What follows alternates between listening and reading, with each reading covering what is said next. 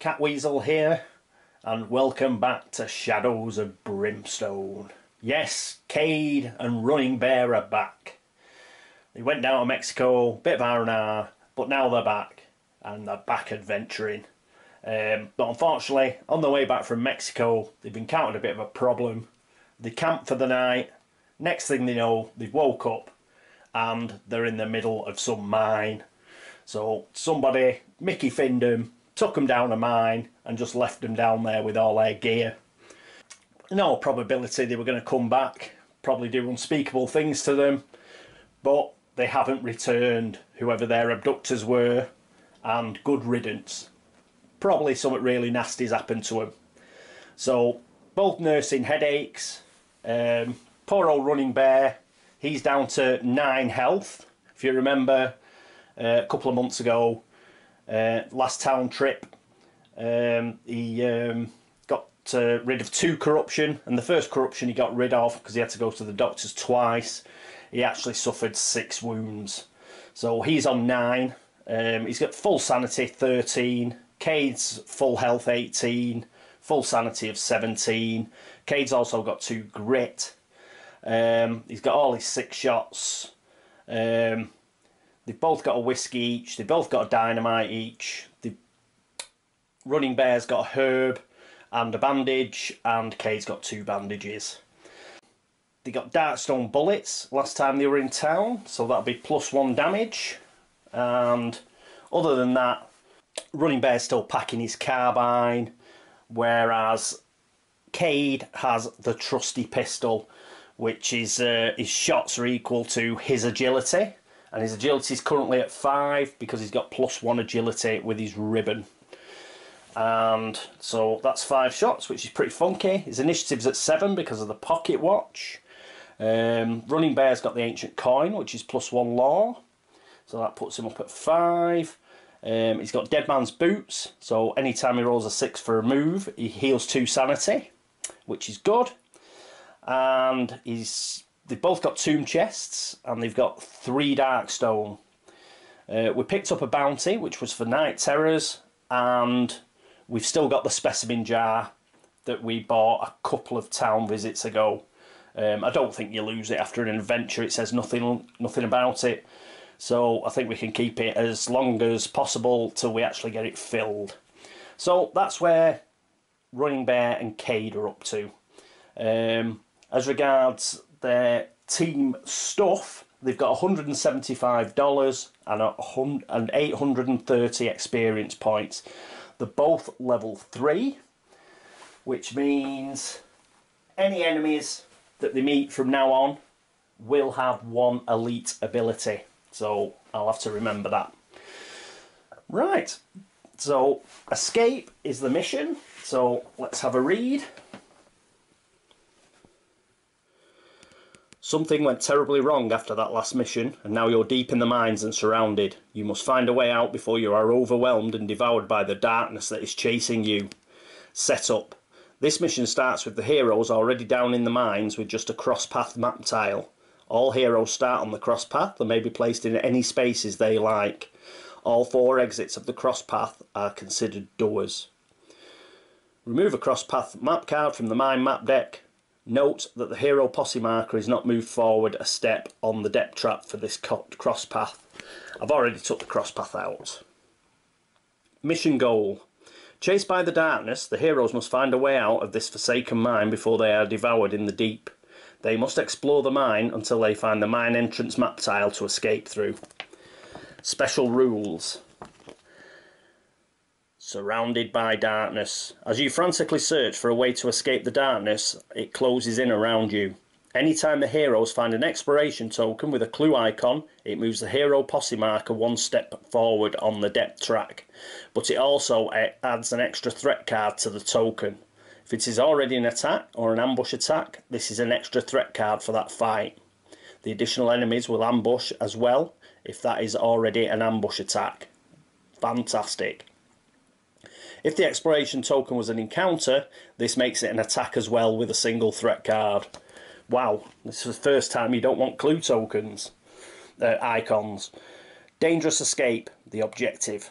At the end of any turn in which one or more heroes is standing on the mine entrance map tile as the objective room, roll a special hold back the darkness test. Ignore depth events. If failed, the darkness marker is not moved, but instead there is an epic threat there waiting for you that must be defeated to escape. If the test is successful, the coast is clear and the heroes are able to hightail it, escaping without incident. For us, that'll be a high threat because there's only two of us. Uh, immediate dread. For this mission, growing dread cards are revealed immediately when drawn rather than being placed on the stack. But if we both have a grit, we will still be able to spend a grit each for each character and cancel that card.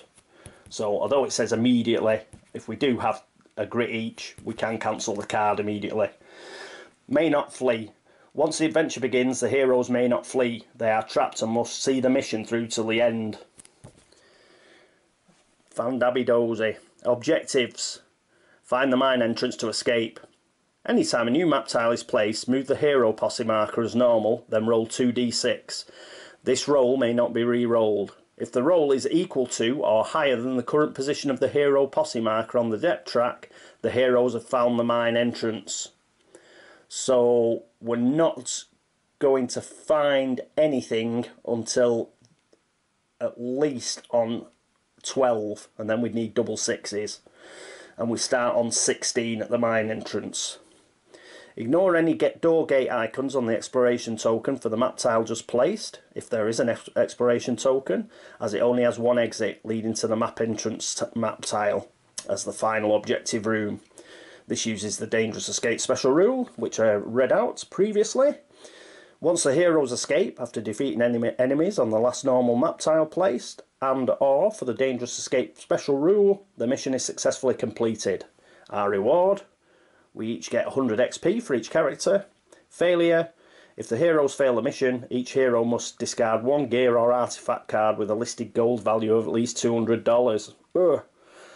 As it is lost in the frantic dash to escape the darkness.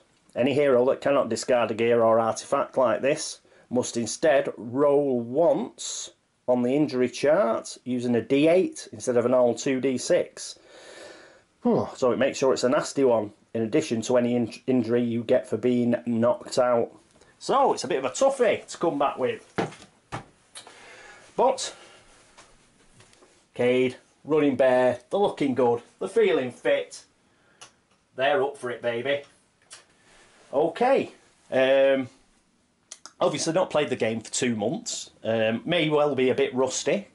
So I will be uh, counting on uh, you folks out there to point out when I do something wrong, which will no doubt happen. So what we'll do is we'll get across to the uh, to the map area and roll to see if we can hold back the darkness.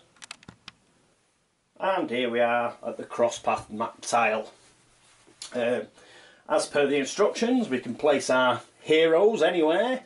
So we'll place them here and we'll go this way. Um, it's just that if we roll a 1 it means we can immediately have a look through. But before all that starts we have to hold back the darkness.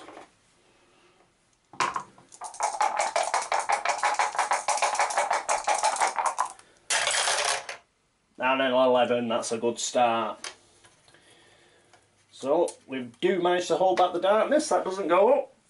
So next up we roll for movement. Initiative goes with Cade. And he rolls a 3. He's going to move here. Get him ready. But he's not going to explore. What he is going to do is he's going to scavenge. So he's scavenging the cross tile. and he fails. Next up is Running Bear and he rolls a 5. So he moves there and he is going to explore. So we'll get ourselves the map deck and throw the map deck all over everywhere. I've just sleeved the map deck which is why it's a bit slippy. But that is not an auspicious start. Right, let's go again. Let's just pretend that didn't happen. Right.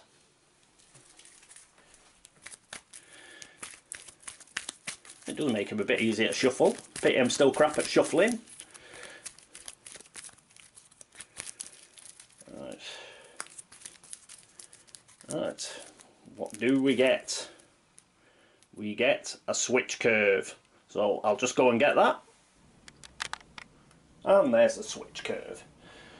So, need the exploration token. There we are. And that's the end of the uh, the turn. So let's flick it over. We get an attack and a clue icon. What this means is we get two attacks. If you remember when we read the, um, the, the mission, it says any clue icon means an extra attack. Fortunately, it's not an ambush attack, so it's just two threat cards. There are two exits, so they stay on. Uh, move the depth track down one, but I've got to move it down again because of the clue icon. So discard switch curve now and we need to draw ourselves two low threats.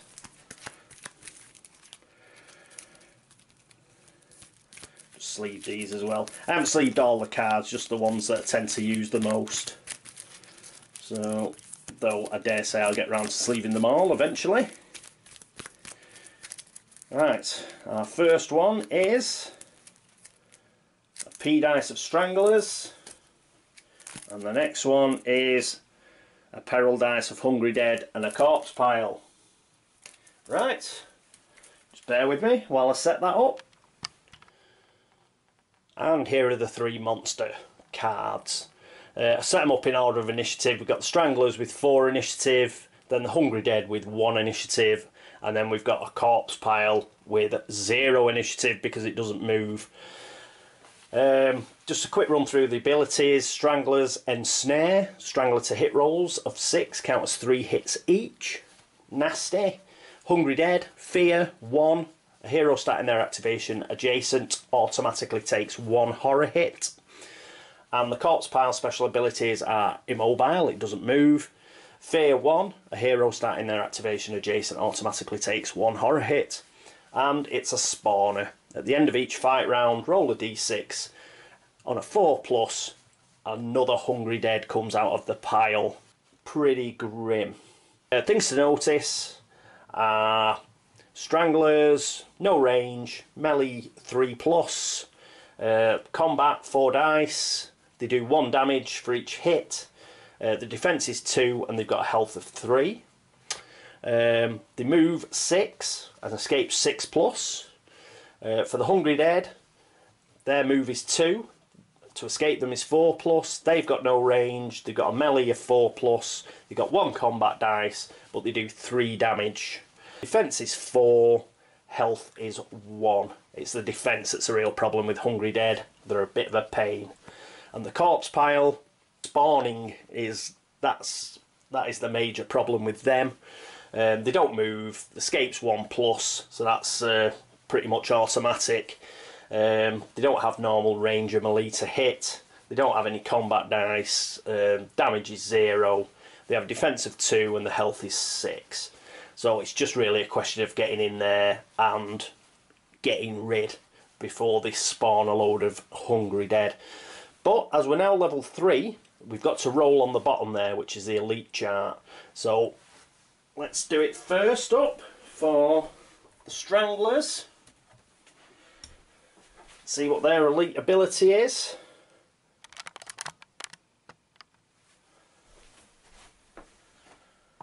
Strangler elite. Ability is 5 regeneration 2 heals 2 wounds at the start of each turn. Ugh, God.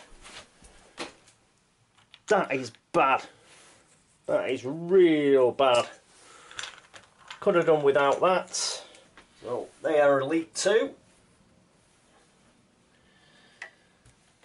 next up Hungry Dead their elite ability is number four, which is it's not elite two, it's elite five. Idiot. Elite five. These are elite four. which is resilience plus one defence. So they've now got a defence of five, which makes them even more difficult. And the corpse piles and one. Plus four health. Brilliant. Heaping pile, more bodies, 10 health. Right. Right, sorted that out. Now to place the models. Or I will place them once we know how many there are. Ha ha! So it's P dice of stranglers. Six stranglers. And four hungry dead. And here we are all set up. Right, okie dokie. Well, first up, it will be Cade with his quick draw ability. So he does this before we hold back the darkness. He gets to make a free attack outside the normal turn sequence, and we could do with it being a good one. He's using his trusty pistol, so he gets five shots because it's the same amount of shots as his agility. If you remember, he's got the ribbon and he's got four agility. So that's one, two, three, four, five.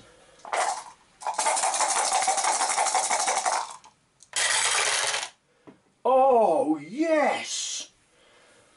Four critical hits and a hit. Right. Okay, okay, okay.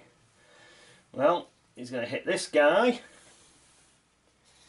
this guy, this guy, this guy, and that guy. So, I think, no, in fact, he's going to hit those. He's just going to keep that four in reserve. The reason is I don't think he can hit this chap here. I don't think he's got light, a line of sight really. Can he hit this one? He could probably hit that one actually. So, yeah, I think he can hit that one. Yeah.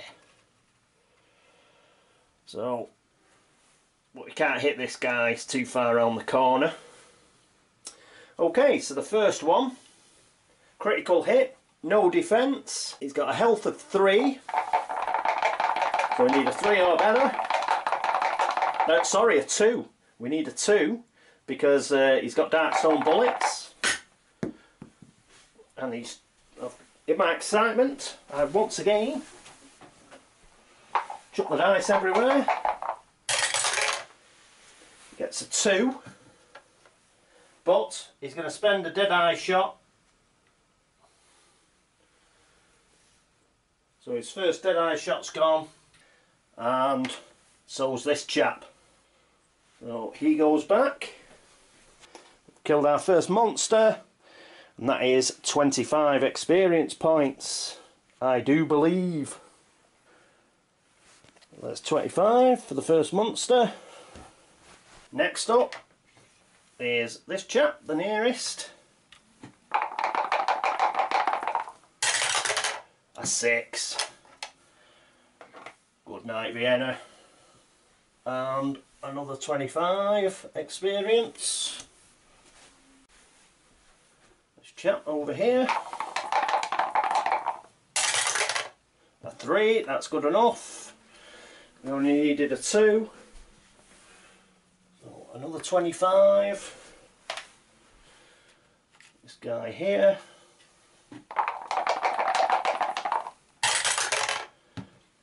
One. But what I'm going to do is I'm going to spend another dead eye shot. In fact, thinking back, I got a two, didn't I? In the first one. So I didn't need to use a dead eye shot because I had dark stone bullets. The health was three. I got a two. So that dark stone bullet that I used before, which I didn't have to use and didn't use because it was already dead, I'm now using that on this on this one. So that's the end of that one and another 25 and we've just got a normal hit against this chap here. So we get, it's got two defence and we get plus one damage so that's like another two. So we've got to get a four or better we get a one which is rubbish so we are going to spend another dead eye shot it's not going to kill it but it is going to put three wounds on it uh, sorry it's, it is going to yeah that will kill it because it's got three health Ugh. get your adding up right man right so that's another 25 Whoop. So that's good stuff. There we go. Put that in the communal bin. So that's pretty good. Um, getting those four sixes, we've managed to kill four stranglers. I spent two dead eye shots in order to do that. Um, the first one that I spent a dead eye shot on though I didn't have to, I did roll a two. He's got darkstone bullets so he did kill it. But the um, the other two I didn't did need to use Darkstone bullets for, so I've only got four left. But use them or lose them. So there we go. Got one Strangler left. But first, that's the end of the turn. So we do have to roll for holding back the darkness. Five isn't good enough. So that moves on. Now we're into the next turn and it's Cade to go again. So he gets another five dice. But first, he moves. He gets a two. What he's going to do, because he needs to see some of these chaps, one, two, he's going to move there so he can actually see them. And he's going to roll the attack. He gets another six. I may use that on a Hungry Dead because of their absolutely amazing ability now. As far as defence goes, five goes on the Strangler. I've got three fours. Um, I'll see how these two attacks go first. Hokey cokey cokey. Do the six first against the Hungry Dead.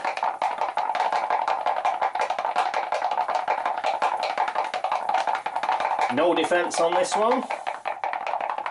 So that should be it, shouldn't it? Yeah, no defence. They've only got one health, so don't even have to roll. So that's a Hungry Dead. And that is 20 XP. Oh, we've killed a Hungry Dead. Next up is the 5 on the Strangler defence of two, which is really one because we've got plus one damage on the Darkstone bullets. A five, that's enough. Excellent. And that's 25. And that we've got rid of all the stranglers. And we've got three hits left. So on the young lady here, the red dress.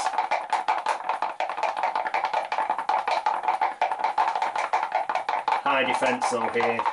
We've got five defence, so essentially we need a six, don't So one, even with Darkstone bullets, no good. Her again. Need a six. A four. I'm going to spend another dead eye shot. That'll make it up to a six. She's gone. Um, another 20 experience. And the last one come on we need a six. A six yes. He goes. So another 20 Cade is on fire. Right um, that's Cade's go the stranglers are all dead so they can't go so next up it is Running Bear. So he rolls for his movement. He gets a 1, which is pants. Um, one, but he does get a grit. Right, he's got a grit. Can he see? One, two, three, four, five, six. Well, you can't see this chap, but you can see the corpse pile. So he's going to use his carbine, which has got a range of eight, so it's well within range, and he's got three shots. With the four plus, he gets two hits. Right, the corpse pile has a defence of two. So both of these are going into the corpse pile. We, anything over a one, we'll put damage on because he's got darkstone bullets. So, he's got a five, that's four, plus two, that's six damage. If it didn't have its elite ability, it would be gone. But as it is, it's got it's got six wounds on it.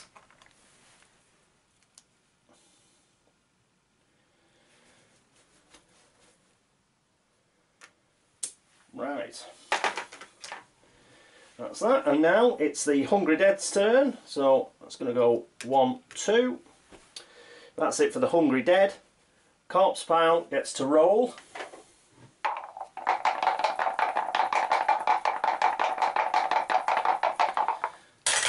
Will it spawn? A three, I think that's a spawn, is it?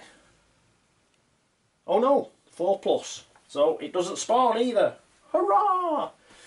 Right, that's the end of the turn.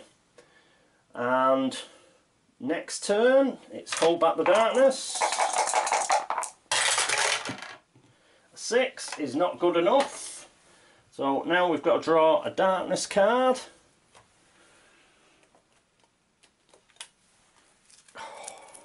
Cobblers.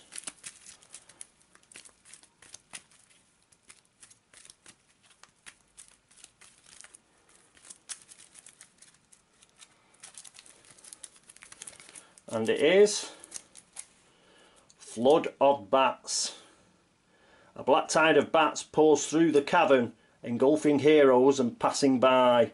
Each hero takes two horror hits, gains 10 XP, and must then pass a strength 4 plus test or lose one dark stone. Right. Two horror hits each. So Cade to save needs a 4 or better. He takes two horror hits because he doesn't save. So he's now down to 15 sanity. And two horror hits for Running Bear. Also needs 4 plus. Snake Eyes, he's going to lose 2 as well. So he's down to 11. And now we've got a roll for a strength 4 plus test. Strength of Cade is 2. Rubbish. Has he got any... No, he's got nothing else that helps him. Oh, I need a 4 plus. Oh, he does it. Star. And Running Bear has a strength of 2 as well. And he passes. So we don't lose any dark stone. And that's the end of Flood of Bats. So we can discard that. Right. And now it's Cade to go. First of all, he's going to roll for his movement. He gets four. He is actually going to move. He's going to go one, two, three. One, two, three, four, five. That's if he moves two. One, two, three, four, five. That's fine. Just making sure the corpse pile is in range. He gets his five dice for his trusty pistol. And he gets, bloody hell, five fours. Well, they're all hits. Um, I think we're going to start the corpse pile first. Um, it has got a defence of two.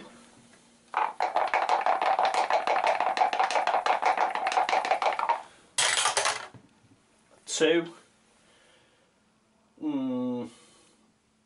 Yeah, we'll just say that one missed. Next one. A three. That's another wound. To seven. And another one. Four. That's another two wounds.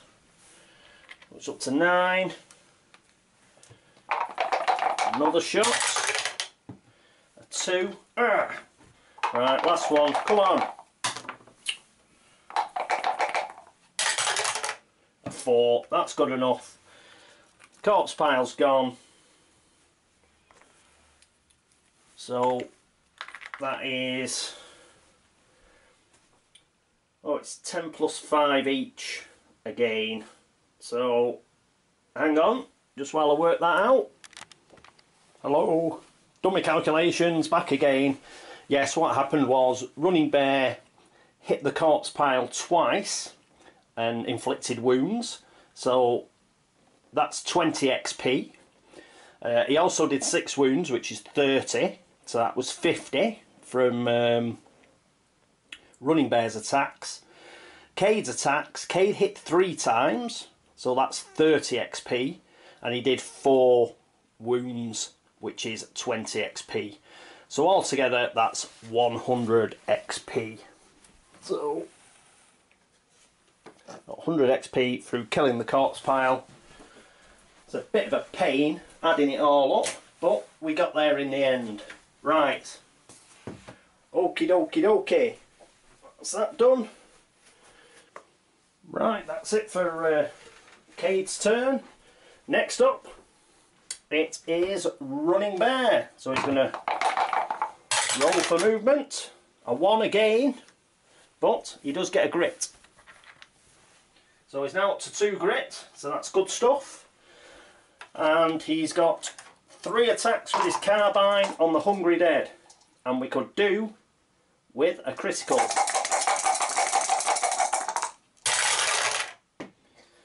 We've got a five and a four. So we've got two hits. So they've got five defence. But we've got Darkstone bullets, so it's four defence. So we need a five or a six off these two. Come on. That's six. Goodbye. Woohoo. 20 XP. Real good stuff. Right, both heroes activated, so it's a D3 for catching the old breath.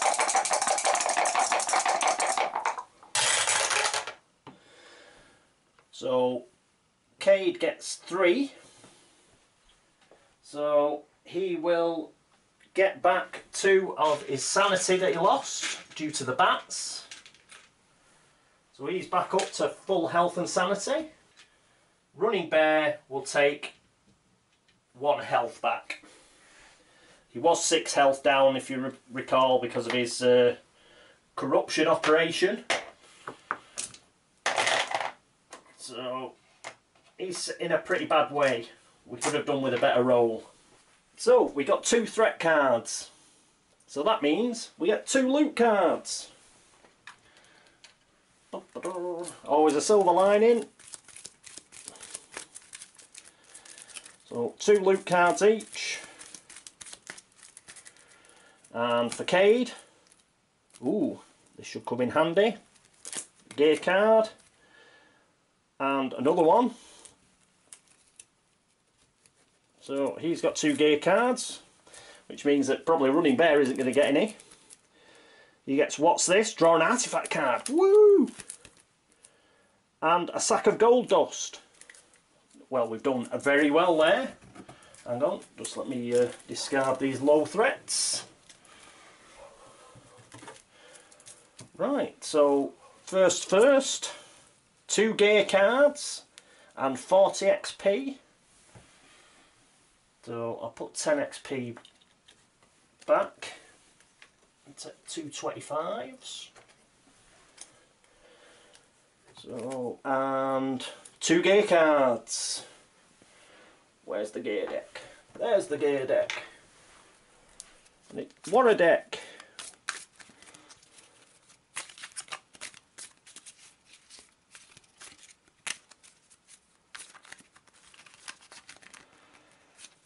Right, there we go, quick shuffle. Give him a cut. And he gets a crisp rose. Performer or showman only. I think he's a showman. He is. Attached to any item, anytime you roll a six, you, you may also recover one grit. Oh yes! Well, he's going to attach that to his trusty pistol, I think. So every time he rolls a six with his trusty pistol, he'll now get a grit back. And his other gear is gain one herb token. Discard this card. We'll discard that. Where are the herbs? Here's his herb token. And actually he's going to give that to Running Bear. Going to use it immediately. Let me just check what you get for herbs. Discard to heal 2d6 wounds. So he will discard that immediately. And he'll roll 2d6. That's 8. So that'll get him right back up to full health. Excellent. There's now 15 health. Let's put those on the loot deck. We want another 40 XP. So again, put 10 back. Draw two 25s. Right. Put the gear deck back now. Right, he gets a mine artifact card. Suffice to say, we could do with something good. Here's the mine artifacts deck. We've wanted a decent weapon for running bear for the past four adventures now. So I think it's about time that we got one. What's he got? The Ring of Tarkul. Plus one cunning. Once per adventure, recover one grit. Right. Cool. He's got plus one cunning now. That takes him up to three cunning. But we could still have done with a weapon. But the grit recovery is nice. Put the artifacts back. and a sack of gold dust $100 thank you very much. There we go. Right. Well that was very good. Loot.